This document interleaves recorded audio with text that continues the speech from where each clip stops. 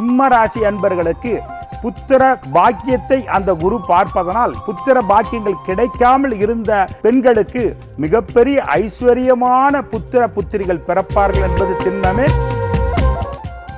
ஏகாதசி திதிகளில் வந்து நீங்கள் நீங்கள் வந்து துளசி கொடுத்துட்டே வர்றதும் நல்ல மாற்றங்கள் கன்னிராசி அன்பர்களுக்கு கிடைக்குதுங்கிறது தான் திண்ணமான கருத்து அன்பர்களே. பனிரெண்டு ராசிகளுக்கான குரு பெயர்ச்சி பலன்களை பிரபல ஜோதிடர்கள் கணித்து கூறும் குரு பெயர்ச்சி பலன்கள் சனிக்கிழமை மாலை நான்கு முப்பது மணிக்கு நமது புது யுகத்தில்